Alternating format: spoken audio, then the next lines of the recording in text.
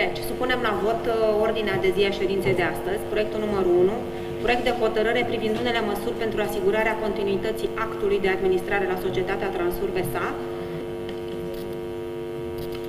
Uh, Sunt uh, uh, întrebări, sunt probleme? Dacă nu, trecem la vot. Ci- Da, vă rog frumos, domn profesor. Mulțumesc, doamna raport.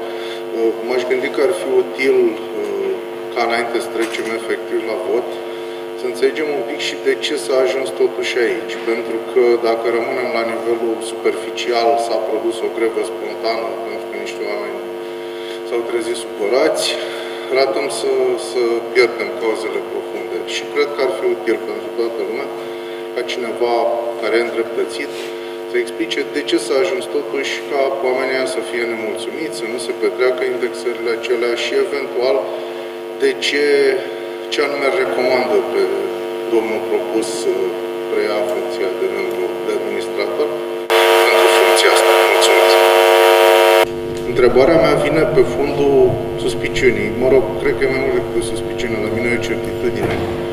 Că de fapt avem de-a face cu probleme de fond, probleme sistemice, de gestionare pur și simplă a transportului public, nu doar cu o situație accidentală, știm bine că a mai fost un asemenea moment de impas acum câteva săptămâni și cred că tot, cu toții ne dorim ca în viitor să nu mai trecem prin asta. Noi, uh, cei de la PAC pentru Galați, ne reiterăm propunerea pe care am făcut-o și în trecut de a, uh, în primul rând, ne oferim ajutorul, dacă e nevoie și de, și de noi, măcar uh, ca să fie mai multe creiere care gândesc o situație, atunci suntem aici. Iar în al doilea rând, poziția noastră e că nu există niciun motiv pentru care transportul să fie exclusiv uh, de stat la Galați, ci că există posibilitatea de a liberaliza măcar o parte a transportului public, sigur la standarde de calitate stabilite de primări. Dacă îmi permiteți, doamna președintă. Vă rog frumos. Mulțumesc. Vedeți, tocmai din această cauză nu cere nimeni ajutorul celor de la pact, pentru că puneți întrebări de genul sau emiteți păreri de genul, domnule, de ce e doar de stat? Pentru că dacă ați ști de ce e doar de stat, cel mai probabil n-ați spune această întrebare și atunci, posibil, noi restul, să apelăm și la uh, eu știu, experiența și expertiza pe care oamenii din pact o au. Dar pentru că nu știți, Nu știm, domnul. păi dacă nu știți, Nu știm, dar noi știm ce nu știm spre deosebire de dumneavoastră. Știți, e Nu. o calitate și un pas spre înțelepciune. credeți-mă, nu știți Până una fantastic, Alta, să știți că sunt destui domnul care cer profesor, ajutor. nu știți fantastic de multe, Absolut din de păcate, din păcate, din păcate, de fiecare dată, atât dumneavoastră cât și colegul dumneavoastră, încercați să transformați într-o tribună această întâlnire sau aceste întâlniri.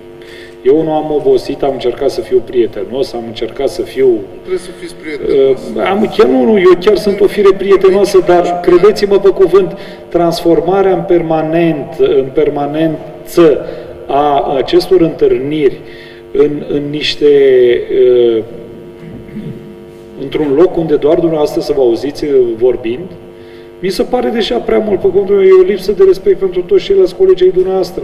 Numai dumneavoastră aveți întrebări, numai dumneavoastră vi se năzare, numai dumneavoastră vi se pare, numai dumneavoastră chiar așa 27 de oameni, 26, îs chiar atât de stupiți toți încât să nu-și pună Eu n-am întrebările afirmat că existențiale pe care dumneavoastră vi le puneți la fiecare ședință.